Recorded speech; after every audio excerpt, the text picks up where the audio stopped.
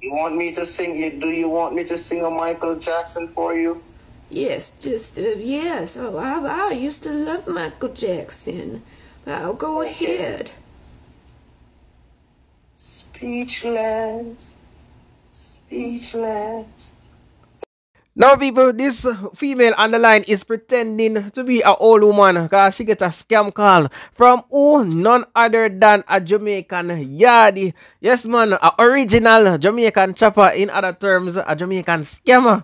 So, people, the man literally starts sing. I mean, man, I try to persuade the woman to send the money. The man take him job so seriously. Him have to get this money by any means. The man say, oh, I go boss a Michael Jackson song. People, tell me what you think about his performance. Speechless.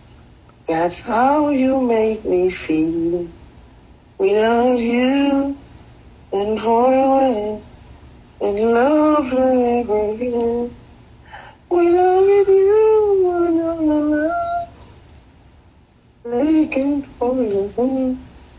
It's oh my gosh, you're the love of my life and no one can stop.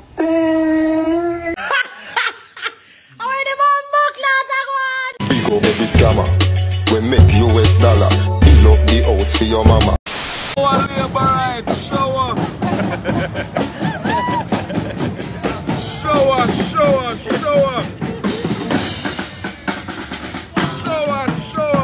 Now, people, one thing about Jamaicans, if them they are Jamaica, some of them, them might give themselves problem. Just like this chopper, the man a sing fee money. Then again, look at this next man now. The man they are firing the people, them then them green and them have them march for whatever reason. We know say nah nothing to do with no labor right. Here the man and the people them play show a labor right. I didn't know say I fuck him go with it. I swear. Now, people, speaking about Jamaica and Jamaicans, on a serious note, recently I shared a video where a male student was caught on camera actually assaulting a male teacher, chuck the teacher in the face. And you know, that is assault. None of manners, none, nothing about them. And then, people, to my surprise, about two days after I see this video with a female student actually attacking a male teacher, and I'm like, what are you really going? People, take a look at this.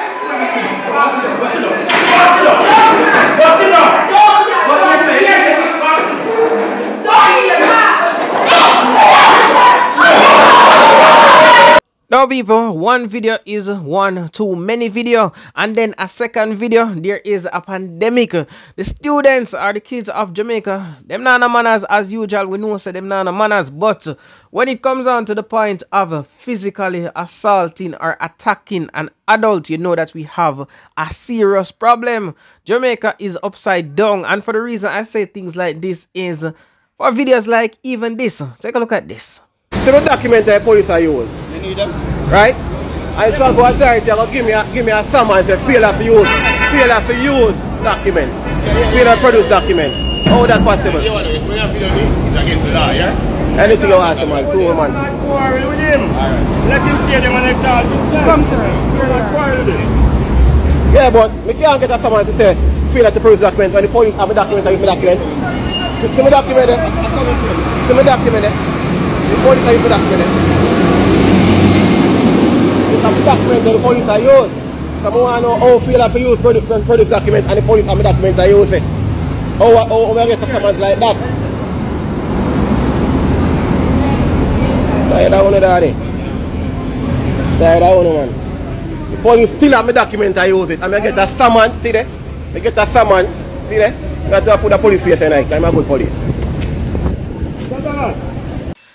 Now, people, what I'm understanding from this video is that uh, this motorist was stopped by the police and he was asked uh, to hand over his documents and he did just so. Now, people, was in that process, the transport authority was there and also they're asking him for his documents, but he cannot give them his documents because the police at the same time is using the documents to process and look up all the information and see if they're up to standards with the legal system in Jamaica. Now, people, the Transport Authority now wants summon the man to court for failure to provide his documents. But how can he provide his documents while the police are using the documents? Now, people, does that make any sense at all? Is Jamaica crazy? Isn't this just stupidness? And I know this man was recording with his phone. But people, the Jamaican law states that once you're in public, once you're in the public domain, you can record anything and you have no right to privacy whilst you're in public. So the man can record all he wants and you hear the, ma the man I tell the man say, you know that it is illegal to record me at this, to record me. I am just letting you know that is just total stupidness. One bag of foolishness. Anyhow, people, what is up? Welcome, my dance truth family. Hope each and every one of you is having a blessed and productive day. And people, as usual, do remember to give this video a like, subscribe to the channel, and make we keep the video off like this. I told somebody rap Mavado, you know, millions, you know, politician. At least you can get back the money from the politician and get back the place why me that buy. And the, and Paula friend. So the woman I rap Mavado, you know, know the people that now talk say a Paula friend, you know. You know, see as Mavado for go back to Jamaica what there, for go deal with the case. You hear say case jump up, you hear say warrant jump up him. Why you think that? A Paula and her friend them. Paula and her friend them, bro. Them thing of politics what we talk about. Paula and her friend them trump up case. Yeah. Remember saying no? The witness in a mother son case are two evidence are two statement him giving a change him statement how much time you know. And see them still send the youth to prison. Nobody not talk about them thing there. Remember, I said them say the only thing my mother want it know. I said the youth them, I said the bar send them. Remember as artists, you know if you send nobody go kill nobody when you're powerful. People just mess with you and people just take it up on them head figure to people think. I said go. Now, people, that was uh, some audio recording of uh, somebody making some serious allegations against the DPP. Paula Llewellyn stating that uh, Paula Llewellyn and Jennifer Messado are friends. This is the same Jennifer Messado who is a lawyer who defrauded dancehall artist Mavado of over 30 million Jamaican dollars for some properties that she purchased for the entertainer. Now, people, it is being stated in the recording that Mavado should or would have re-entered Jamaica, but as he was about to re-enter Jamaica, Paula Llewellyn used her powers or abuse her powers to make Mavado know that if he does enter Jamaica, he could be arrested and there are charges here in Jamaica for Mavado. And this person is stating that Paula Llewellyn is just using her powers just because she and Jennifer Messado are friends. No, people, as I said, these are all allegations. All allegations are, you can say, well, them have a next word where them use, are alleged, alleged allegations against Jennifer Messado. Anyhow, people, do share your thoughts about that in the comment section, though. Effective the 1st of June, the national minimum wage will increase from 13,000 per 40 hour week to 15,000. And people, of course, that was the Prime Minister of Jamaica, the most Honorable Andrew Holness, in his recent budget reading, letting everyone know that the minimum wage of Jamaica is going to move from $13,000 to $15,000. That's over 100 US dollars. Now, a lot of persons are happy about that, and you have some persons that are not happy about that. But people, just a small reminder that it says minimum wage, and you know that minimum wage is for mostly like low skilled workers. You know, minimum wage are basically when you just start workout, you know, and you just left from school and you find one look work and minimum wage should be your stepping stone. As in you turning an adult actually getting a career into something else you would get a better paying job. But people some people just don't understand when them say minimum wage. Every time the prime minister do the budget debate and talk about minimum wage there's a set of people that complain in the comment section and talk about your that minimum wage can't do nothing for people. People supposed to survive off a minimum wage and them something there. And granted, a lot of the country already understands what minimum wage is, but realize enough people don't understand. Or them do know, them just not care, them just need something for complain about in the comment section for vent. Either way, we're gonna talk about it a little bit. Guys, I want you to understand that minimum wage is not a place for grown adults to be with children. Right? Minimum wage is not a permanent state that you should be in. Minimum wage is supposed to be something that young adults take part in who probably just left school and no qualifications and want to make a little money until them sort out themselves. That's what minimum wage is. We now look for raise a whole family off a minimum wage. That's crazy. Come on, people. Let's come on. Let's let's be honest here, right? Minimum wage is not a place that you can raise a family off. Minimum wage is a starting point. You're not supposed to be there permanently. It's a temporary state for you to be able to just move up from that level right? So when you come and complain about minimum wage and I say people can't survive off of that, I mean, technically that's true. You're not supposed to be surviving off a minimum wage. It don't really make no sense. Right? You have to be investing in yourself. You have to develop yourself. That is why when we talk about paying attention in school and continuing to develop yourself even into adulthood, to make yourself more marketable when we're looking for jobs, it allows persons to avoid falling into this minimum wage situation, right? Because look at it this way if they were to keep raising minimum wage to if they raise minimum wage to to to high levels right? Like 30 grand and them something the way you think that they're going to do to the economy?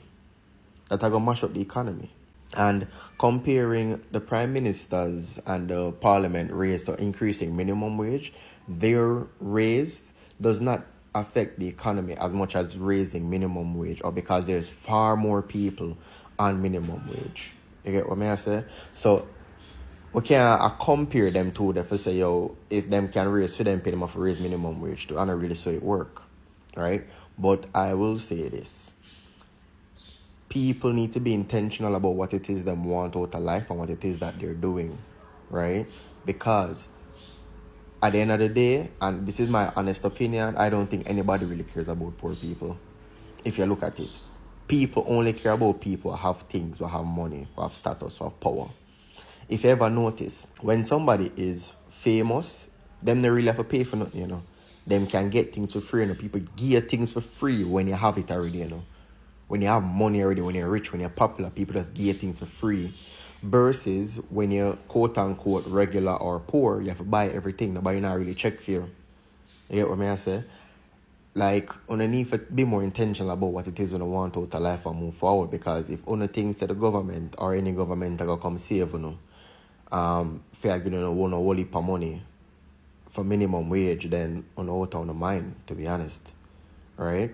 So Yes, I can understand the dilemma of enough people because they were dealt a hard hand in life and not everybody did make the best of the opportunities that were presented to them. But at the end of the day, it doesn't mean that you're owed a minimum wage salary that's supposed to help you provide for you and your family because that's not what it's for. You have to invest in yourself and develop a skill or further education in some way for be able to compete in the job market. That's just where it is right now. You get what I mean? I say life hard enough right? You have to fierce, you have competitive. Nobody don't have the time for start for nobody nowadays. Everybody I try to get it. Everybody I try to uplift for them family for move forward. Right? So I just my two cents on this whole um minimum wage debate. But no say there will be more um people complaining about this as time itself exists because people are always just miss the bigger picture of it. But it's not a permanent state for you to be. It's was always meant to be temporary. As a relatively young man, me tell myself, say, yo, any day me have to depend on the government to take care of my family, like literally have to wait on the government to give me something so my youth them can eat. Me know say me fail as a father, me know say me fail as a man. I did not do the best that I can do. That's the worst place for there. If I have to depend on somebody, if you have to depend on the government, you can make sure say you pick them sort out. Yo, that can be a nice feeling, I swear. And people, let me ask you this question. What do you think about the Prime Minister's budget speech? Do you think that it will be effective? Do you think that it was enough? Or do you think it's a big no-no? Let me know in the comment section. See again, you know, and I say we no want increase, you know. But when you come give a man $2,000 per weekly pay you now, security get one thousand dollar per weekly pay, minimum wage get two thousand dollar per weekly pay. You know some more stress you put the people in, you know. Enough, enough more stress you put the people in, you know. I see people that provide goods and services, brother.